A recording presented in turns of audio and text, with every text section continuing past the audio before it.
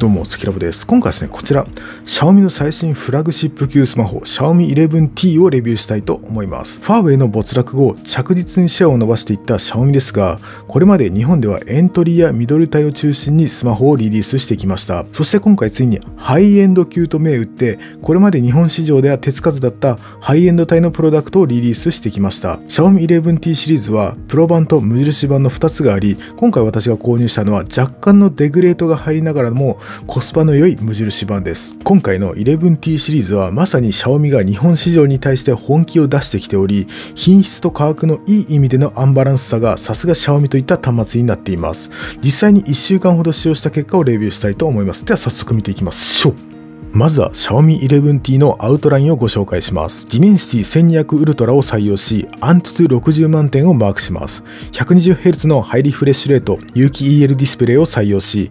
5000mAh の大容量バッテリー、67W の超急速充電にも対応しています。1億800万画素のメインカメラを搭載し、この構成で54,800円です。まさに要所要所を抑えたスペックといった感じで、構成自体はまさにハイスペック。それでいて価格は54,800円と絶妙妙な価格設定になっています。その他のメーカーの半端なミドルスペックスマホを買うぐらいならば、確実にこの Xiaomi 11T をおすすめします。軽く 11T Pro と無印版の違いもご紹介します。以下は 11T Pro のみの特徴です。フェリカ対応でお財布携帯対応。SoC がスナップドラゴン888のデチューン版を採用しています。ディスプレイ評価機関 DisplayMate によって A プラスの評価と Harman Kardon チューニングのスピーカー、8K30fps のビデオ撮影、この構成で69,800円です。。一番大きなのは FeliCa 対応。これがまあ一番の目玉ですね。それ以外に関して言うと SOC が最上位の Snapdragon 888を採用していますが、これに関しては発熱を回避するためにデチューンがされているようで、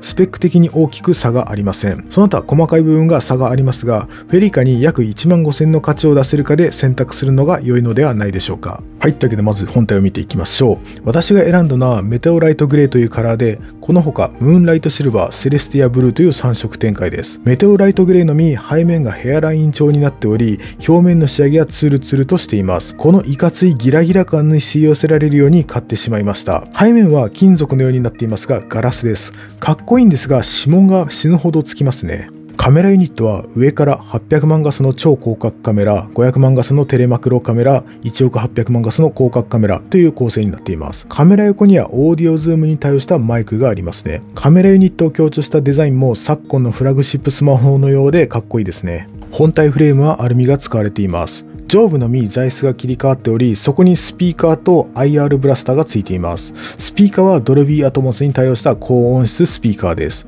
底面は SIM スロットとマイク、Type-C スピーカーが並んでいます。右側は音量ボタンと電源ボタン兼指紋認証センサー。左側は何もついていません。ディスプレイは 120Hz のハイリフレッシュレート駆動に対応した有機 EL ディスプレイです。この価格でこの構成は本当に魅力的ですね。6.67インチとかなり大柄なスマートフォンであるんですが、本体の厚みが結構薄いので、重量は持った感じそんなに重くは感じませんが、実際に測ってみると、214g これガラスフィルムを貼ってこの数字なので重量本体自体は 203g とのことですちなみにおなじみのクリアケースと初期フィルムがしっかりとついていますね。本体の質感も上々で、ハイエンド級の端末を所有している感覚をしっかり持たせてくれます。スペックも大事ですが、こういった所有感もハイスペには必要な要素だと私は思いますね。Xiaomi 11T は Dimensity 1200 Ultra を採用し、アンティトスコアで言うとおよそ60万点を叩く優秀な SoC です。ただ今季ハイエンドは70万点から80万点ほどが主流で、この数値は結構控えめな数値だと思います。そういった意味でこいつはハイエンドではなくハイエンド級という表現になっています。ちなみにプロ版はスナップドラゴン888を搭載していますが、発熱対策のためにデチューンが施されており、アンティトスコアは66万点ほどまで落とされているようです。そうなると数字的なインパクトはちょっと弱いですね。ただし使い心地はハイエンド端末と何ら遜色ないです。メイン端末として余裕で使っていけるスペックですし、何よりこのスペックと価格のバランスがとても良いと感じます。指紋認証や顔認証といった基本的な動作はフラグシップのそれと何ら変わりません。お次はディスプレイについてです。Xiaomi 11T は最大輝度1000ニットに達する高品質な有機 EL ディスプレイを採用しています。リフレッシュレートも最大 120Hz で上位レベルの実装と言えます。ます。プロ版はディスプレイメイトというディスプレイ評価機関において A プラスという評価を得ていることを売りとしていますが、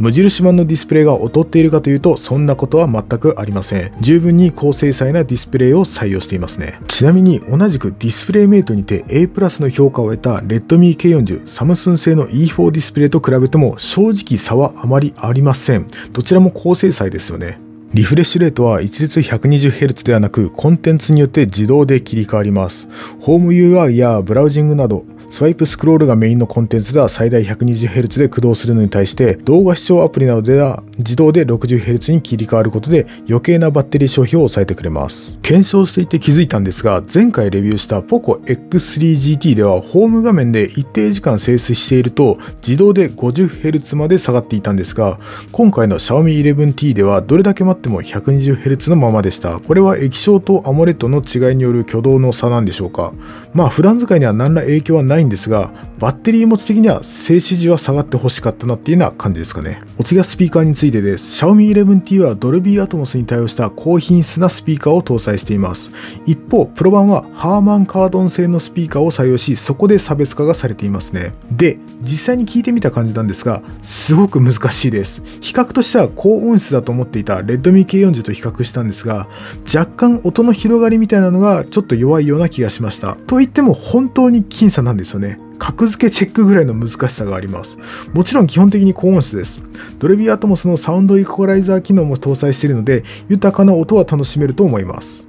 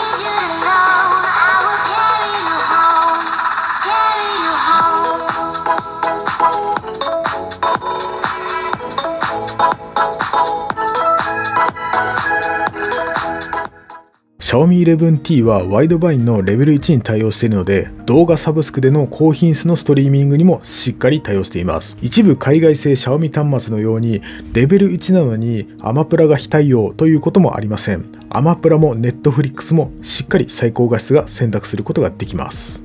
Xiaomi 11T は 67W の超急速充電にも対応しています。ちなみにプロ版は 120W の充電に対応しています。もうなんかそのレベルまで来ると逆に怖いような気もします。昨今の環境配慮という名のもとにメーカー都合で省かれる充電器ですが、Xiaomi 11T ではしっかり 67W の独自規格充電器が付属します。売りにしてるならばつけないとおかしいですもんね。5000mAh と大容量ながらわずか36分で満充電をする驚異的なスピードです。もし夜の充電を忘れてしまっても朝の身支度時間で充電が済んでしまうスピードです。実際に残量20%から100%満充電までの時間を測ってみました。まず充電開始後15分で70%まで充電されていました。やはりそれがびっくりですね。その後10分程度で100%の満充電が完了しました。合計25分でした。充電器側もほんのりあったかい程度にはなっていましたね。私がメインで使っている Galaxy S21 Ultra は最大で 25W までしか対応していません。おそらく来期以降のハイエンドでは超急速充電への対応の有無がトレンドになってくるんじゃないかなと個人的には思っています。それぐらい充電速度は使い心地に直結する要素になってきていますね。はい、お次はゲーミング性能についてです。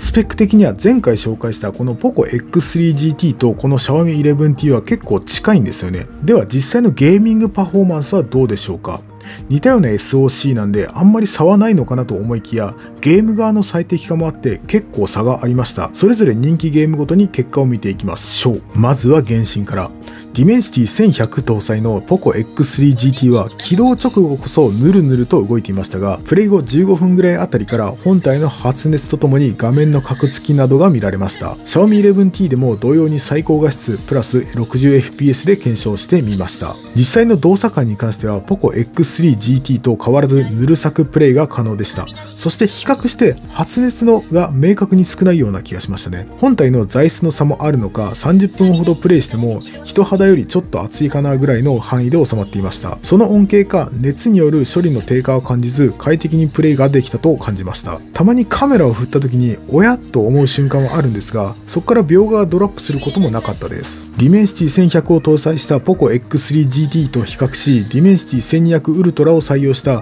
Xiaomi 11T の方が原神には向いているのかなというふうに感じました。お次はコッドモバイルに関してです。ポコ X3GT ではフレームレートのウルトラ設定が可能だったため、その他のハイエンド機種と比較しても快適に動作していましたが、価格や立ち位置的にも上位グレードのはずの Xiaomi 11T はなんと非対応とのことでした。最高画質での動作はもちろん可能ですが、やはり FPS は画質よりも描画レートが高い方が有利なんで、この比較においては Xiaomi 11T が明確に劣っています。この件に関しては明確にゲーム側が対応するかしないかという感じですね。スペック的には全然問題ないはずなんで、ウルトラ設定対応端末は今後も増えていくので、Xiaomi 11T が対応されるのを待つ必要があるかと思います。で、最後にプロセカです。Xiaomi Pad 5や一部の MIUI 端末で音ゲーに弱いと言われていましたが、最近はプロセカ側の MIUI 最適化が進んだようで、こちらも何の不満もなくプレイすることができました。POCO X3GT でも何も問題はありませんでしたが、Xiaomi 11T でも全然大丈夫ですね。というわけで一番感じたのは発熱の少なさですかね。本体の材質の違いもあると思いますが、今回の検証で上記3つのゲームを立て続けにプレイしていたんですが、最終的に人肌よりちょっと熱いかな程度で収まっていました。CPU を見るソフトで見ると45度と、まあそこそこ発熱はしていますね。体感的な意見になりますが、 Snapdragon 870を搭載した Redmi K40 に近い感覚でしたね。同じ Dimensity でも1100と1200 Ultra では結構差が出るもんなんですかね。最後にカメラ性能についてです。Xiaomi 11T がハイエンドに入らないもう一つの大きな要素としてはカメラ性能についてです。有効画素数こそ1億800万画素というインパクトのある数字ですが、採用するセンサーはサムスンの HM2 というミドルグレードのセンサーを採用しています。それと合わせて Dimensity 1200のグラフィック処理などもあって、その他のカメラ特化スマホと比較するといまいちパッとしないレベルで収まっています。今回の検証では前回紹介した POCO X3GT と同日に撮影をしています。それも踏まえて作例を見ていきましょう。Xiaomi 11T と POCO X3GT ではやはりディティールは 11T の方がくっきりしていますが、劇的に違うかと言われればそこまで微妙かなというふうに思っています。で、こちらは圧倒的に差のある Galaxy S21 Ultra との差です。まさに雲泥といった感じで、でも実際にはちょっと曇り空だったので、